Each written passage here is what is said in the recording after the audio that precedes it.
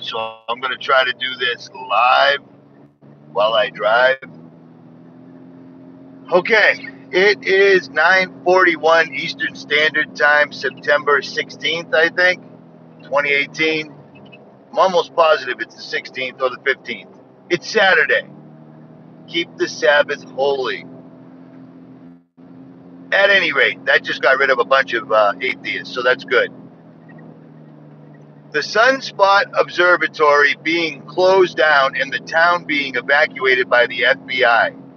That's the latest thing that's going on, and people are attributing it, attribute, attributing it to NASA seeing objects eclipsing the sun by 90%. So something the size of the sun almost by 90% allegedly was recorded by NASA going one way and then returning, coming back the other way.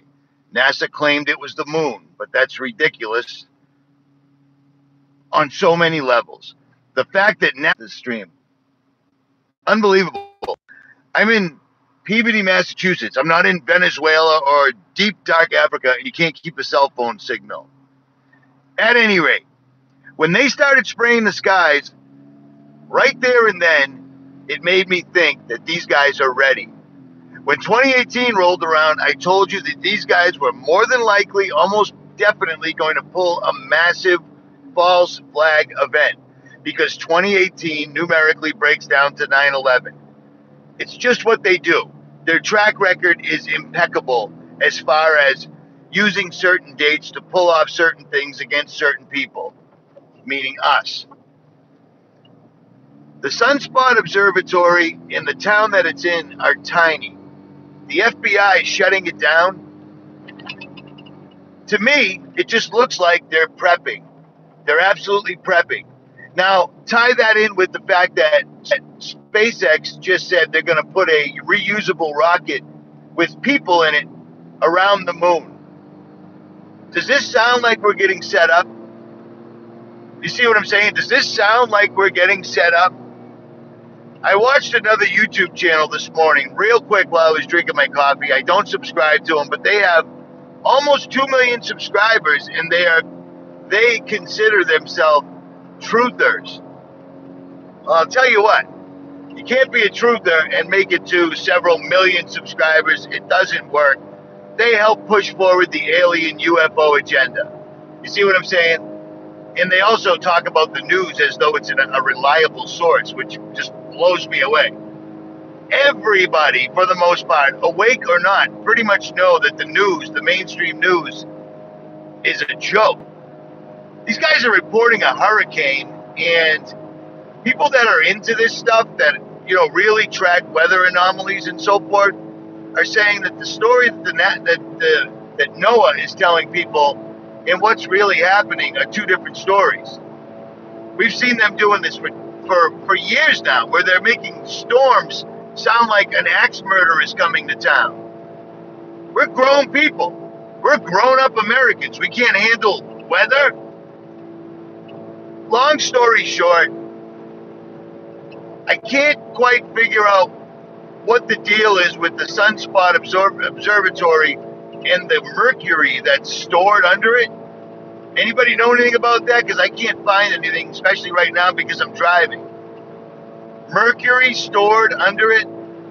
That sounds to me like what the Nazi bell was.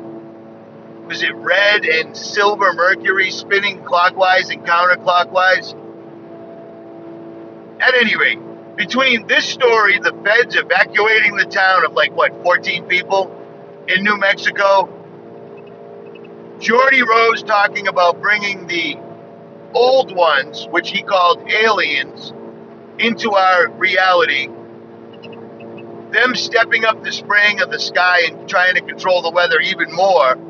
It sounds like these guys might actually have their shit together enough where they're going to try to pull off a staged invasion. Forget about Project Blue, Blue Beam. That's old technology. They are far and away well, well more technologically advanced than Project Blue Beam and holograms. If these guys are going to bring, if they're going to tear the veil, or if they've already teared the veil and they have an opening where other entities can come and go as they see fit, if they're going to give them physicality somehow through all their Boston Dynamic robots and whatever else they have in underground bunkers, this really sounds like this is the setup. Big accident in the middle of uh, 95. Also, Lawrence, North Andover, Andover, Massachusetts.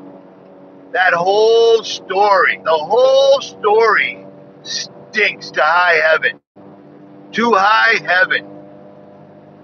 If you're working on a high pressure gas line, the your main focus is making sure the, the gas pressure is correct before you fill the street back in or you shut it back down.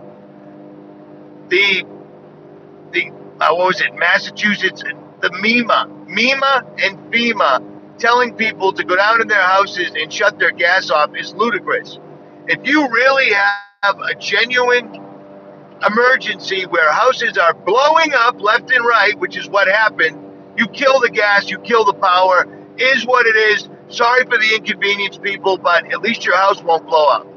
Them telling people to go down the go down their building and shut the gas off a gas cock on a house gas meter has seals in it. If there truly was an, a high pressure gas leak, shutting the gas cock, which is what it's called, off at your gas meter, the high pressure is still going to blow out the seals. This entire thing just smacks of a false flag. I just can't prove it. But some other people are pretty damn close to it. I guarantee someplace in the background, you know, push aside the union issues, the, you know, all the news articles talking about gas line problems in Lawrence and North Andover, put that all to the side and see if somebody's trying to buy all that property or if, you know, the government wants to take over all that property because that's usually what's behind something like this. At any rate, I hope this whole thing works. I can't upload from my phone anymore like I've been doing since the day I started this channel, so I don't know what's up with that. Going to meet a couple of subscribers because it is the weekend. The Freedom Rally is going on right now in Boston. I'm going to try to hit that Monday, but it, you know, everybody smoking pot isn't my main concern in life. Saying honestly, but I will try to hit that. At any rate, Richie from Boston, like, share, subscribe, or don't. If you can find anything out about that mercury that's that's allegedly stored in that area, rjcjr10 at yahoo.com. And I am out.